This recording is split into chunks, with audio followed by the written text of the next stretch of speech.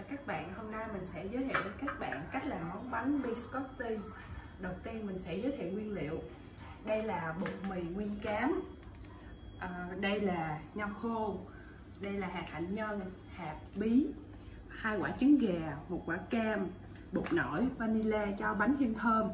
Thì món bánh này rất là có lợi cho sức khỏe Chủ yếu là những nguyên liệu rất là tốt cho sức khỏe Như là các loại hạt và bột mì nguyên cám thì à, mình sẽ hướng dẫn các bạn cách làm nha.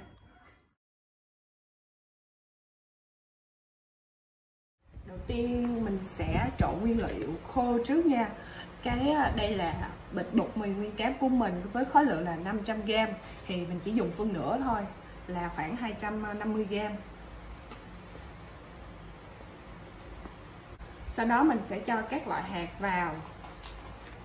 Đây là hạt hạnh nhân các bạn để nguyên hạt như vậy, hoặc là nếu các bạn thích cũng có thể cắt nhỏ ra.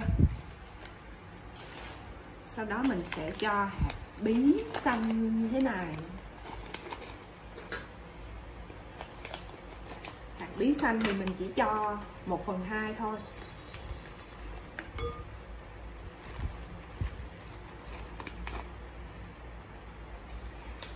Kế đến là mình sẽ cho nho khô nho khô thì mình dùng loại này đây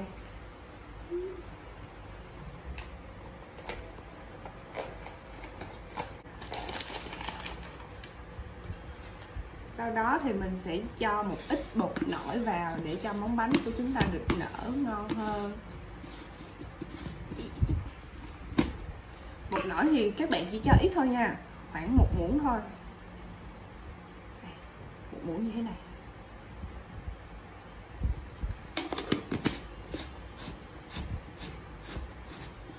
Và chúng ta sẽ cho một ít bột baking soda.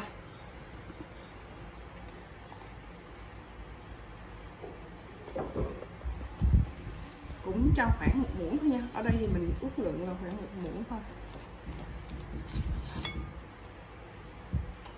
Bây giờ thì chúng ta sẽ trộn cái hỗn hợp nguyên liệu này lại. Trộn cái hỗn hợp nguyên liệu này lại với nhau nha. Hòa vào nhau là được. Thế này là được rồi nha. Sau đó thì mình sẽ bắt đầu đi chuẩn bị nguyên liệu hỗn hợp ướt để qua một bên chúng ta đi trộn hỗn hợp ướt quả trứng gà.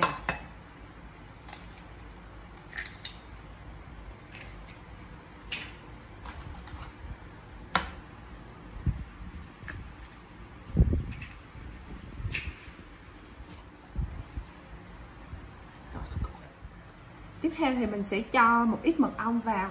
Mật ong thì tùy các bạn muốn dùng loại nào cũng được. Thì hiện tại mình đang dùng cái loại hoa yến bạc này. Thì mình thấy mật ong này nó khá là khá là đặc, rất là ngon. Nên mình thích dùng cái loại này.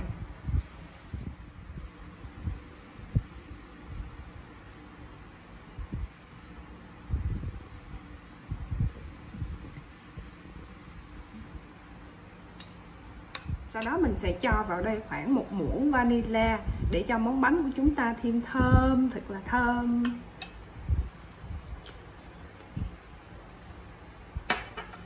Ta sẽ cho thêm đây vào khoảng là 2 đến 3 muỗng dầu ô liu nha các bạn.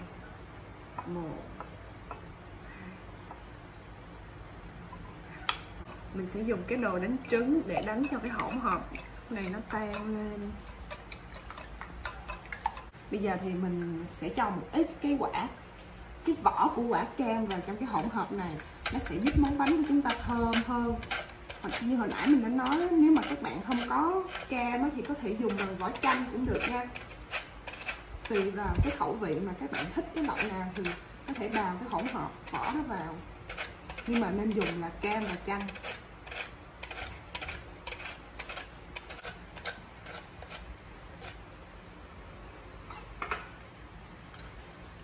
Bây giờ thì mình sẽ đổ cái hỗn hợp ướt vào cái hỗn hợp khô. Sau đó chúng ta sẽ trộn đều hai cái hỗn hợp này lại với nhau nha.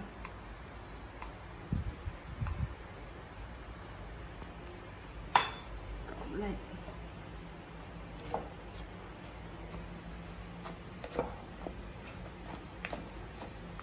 Thơm lắm các bạn ơi. Rất là thơm mùi mật ong luôn á. bây giờ thì mình sẽ tiến hành nhào bột bằng tay nha các bạn mình phải nhào bằng tay thì cái hỗn hợp thì nó mới đều được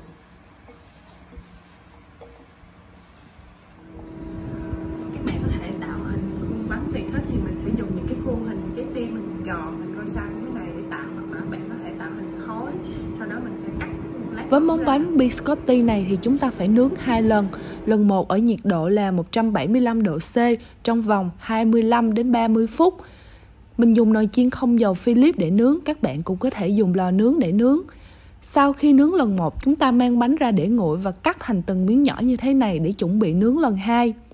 Lần 2 mình sẽ nướng ở nhiệt độ là 130 độ C trong vòng 6 đến 7 phút.